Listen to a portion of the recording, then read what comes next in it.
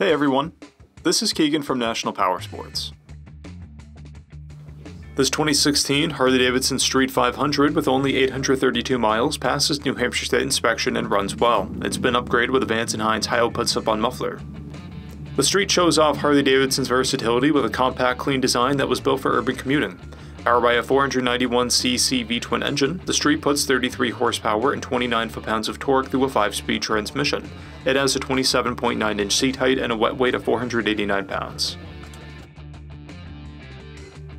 To see everything we know about this vehicle, including full mechanical and cosmetic condition reports, the service repair order, high-resolution photos, and more, please visit the listing on our website. We have also purchased the CycleCheck's Vehicle History Report, you can view this report by clicking the link on the right side of the video.